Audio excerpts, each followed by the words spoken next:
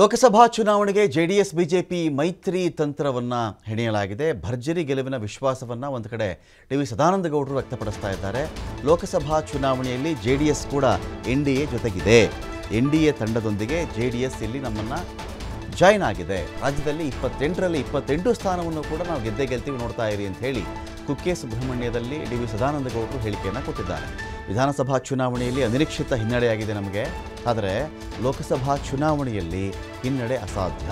ನರೇಂದ್ರ ಮೋದಿ ನೇತೃತ್ವದ ಆಡಳಿತ ಅತ್ಯಂತ ಯಶಸ್ವಿಯಾಗಿ ನಡೀತಾ ಇದೆ. ಲೋಕಸಭಾ ಚುನಾವಣೆಯಲ್ಲಿ ಭರ್ಜರಿಯಾಗಿ ಗೆಲ್ತೀವಿ ನೋಡ್ತಾ ಇರಿ ಅಂತ ಹೇಳಿ ಡಿ ವಿ ಸದಾನಂದ ಗೌಡರು ಹೇಳಿದ್ದಾರೆ.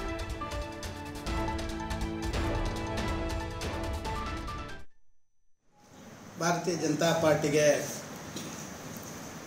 ನಿಜ ಕರ್ನಾಟಕದಲ್ಲಿ ವಿಧಾನಸಭಾ ಚುನಾವಣೆಯಲ್ಲಿ ಒಂದು ಅನಿರೀಕ್ಷಿತವಾದಂಥ ಹಿನ್ನಡೆ ಆಗಿರುವಂಥದ್ದು ನಿಜ.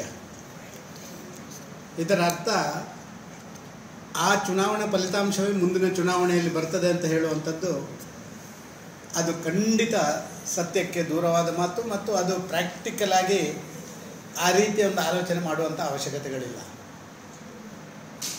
ಯಾವತ್ತು ಲೋಕಲ್ ನಮ್ಮ ಚುನಾವಣೆ, ಅದು ಲೋಕಲ್ ಇಶ್ಯೂಸ್ನ ಮೇಲೆ ಸ್ಟೇಟ್ ಇಶ್ಯೂಸು ಮತ್ತು ಲೋಕಲ್ ಇಶ್ಯೂಸ್ ಮೇಲೆ ನಡೀತದೆ. ಪಾರ್ಲಿಮೆಂಟ್ ಚುನಾವಣೆ ಯಾವಾಗಲೂ ಕೂಡ ನಮ್ಮ ನ್ಯಾಷನಲ್ ಇಶ್ಯೂಸ್ನ ಮೇಲೆ, ರಾಷ್ಟ್ರೀಯ ವಿಚಾರಗಳ ಮೇಲೆ ನಡೀತದೆ. ನಾವು ರಾಷ್ಟ್ರೀಯ ವಿಚಾರಗಳನ್ನು ಕೈಗೆತ್ತಿಕೊಂಡ್ರೆ ಒಂದು, ದೇಶಕ್ಕೆ ಒಂದು ನಾಯಕ ಬೇಕು. ಆ ನಾಯಕ ಮೋದಿಯನ್ನು ಬಿಟ್ಟರೆ ದೇಶದಲ್ಲಿ ಯಾವ ಪಾರ್ಟಿಯಲ್ಲಿ ಕೂಡ ಅವರ ಹತ್ತಿರ ಬರುವಂಥ ನಾಯಕರು ಕೂಡ ಇಲ್ಲ. ಎರಡನೇದಾಗಿ, ಕಳೆದ ಒಂಬತ್ತು, ಒಂಬತ್ತೂವರೆ ವರ್ಷದ ಆಡಳಿತ. ಪ್ರಾಯಶಃ ಭಾರತ ದೇಶ ಅದು ಎಲ್ಲ ದೃಷ್ಟಿಕೋನದಲ್ಲಿ ಕೂಡ ಅತ್ಯಂತ ಯಶಸ್ವಿಯಾಗಿ ಆಗಿದೆ. ನನಗೆ ನನಗೆ ತಿಳಿದ ಮಟ್ಟಿಗೆ ಭಾರತೀಯ ಜನತಾ ಪಾರ್ಟಿಯ ಲೋಕಸಭಾ ಚುನಾವಣೆಯಲ್ಲಿ ಯಾರೇ ನಿಂತರೂ ಕೂಡ ಯಾರೇ ನಿಂತರೂ ಕೂಡ ನಾನು ಯಾರ್ದು ಹೆಸರು ಹೇಳಲಿಕ್ಕೆ ಇಚ್ಛೆ ಪಡೋದಿಲ್ಲ ಯಾರೇ ನಿಂತರೂ ಕೂಡ ಭಾರತೀಯ ಜನತಾ ಪಾರ್ಟಿಗೆ ಏನು ಹಿನ್ನಡೆ ಆಗೋದಿಲ್ಲ ತನ್ನಿರು ನೋಡಿ ಎನ್ ಡಿ ಎ ಅಂತ ಹೇಳಿದರೆ ಕೇವಲ ಕರ್ನಾಟಕಕ್ಕೆ ಮಾತ್ರ ಸೀಮಿತ ಅಲ್ಲ.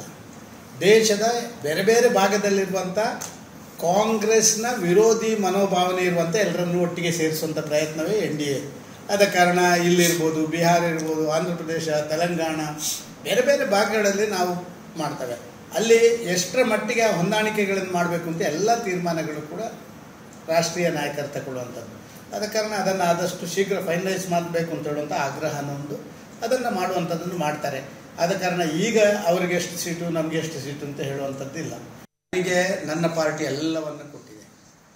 ಪ್ರಾಯಶಃ ಕರ್ನಾಟಕ ರಾಜ್ಯದಲ್ಲಿ ಯಡಿಯೂರಪ್ಪರನ್ನು ಬಿಟ್ಟರೆ ಅತ್ಯಂತ ಹೆಚ್ಚು ಸ್ಥಾನ ಅದು ಕೂಡ ನಿಮ್ಮಂಥ ಸುಳ್ಯದಿಂದ ಒಂದು ರಿಮೋಟ್ ಒಂದು ತಾಲೂಕು ಭಾರಿ ಹಿಂದುಳಿದ ತಾಲೂಕಿಂದ ಹೋದಂಥವನಿಗೆ ಎಲ್ಲ ಸ್ಥಾನಗಳನ್ನು ಕೊಟ್ಟಿದೆ.